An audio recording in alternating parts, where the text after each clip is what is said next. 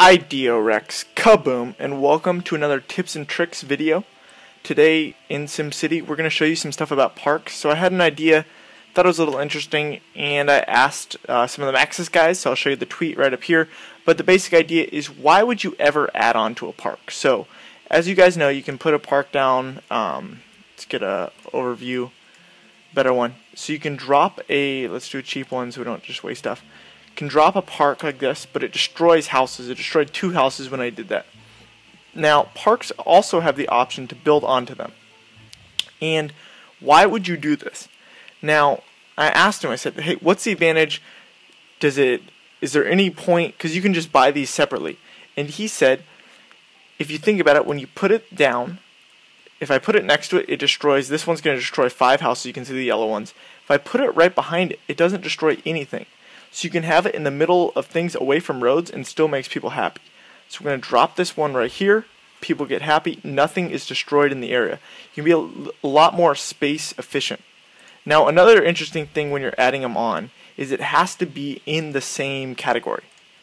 Um, so formal, plaza, nature, sports, and basic. So let's go down to this basic park we just plopped. A lot of people walking around. And you can add other basic ones to it. So let's add a water park playground.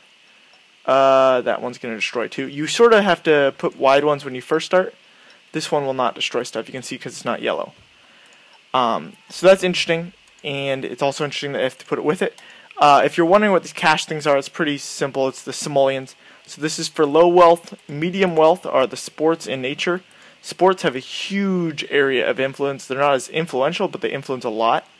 Um, you can go up to Plaza, which are higher um, wealth, and Formal. Uh, Plaza and Formal, I haven't really figured out the difference.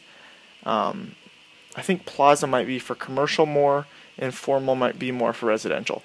But hope you guys use this. It keeps you space. Um, it saves space when you're putting stuff down. That way you don't have to destroy pre-existing buildings, and you can go straight through. Um, see, we're already getting stuff to upgrade which sucks because I can't build this all the way through. Theoretically, you could build one park all the way through. So, hope you guys enjoyed this. Um, if you learned it and you're going to use this in your cities, if you could leave a like or share this video, really appreciate it. And if you're new around here, of course, subscribe for more tips and tricks coming to you often. Peace.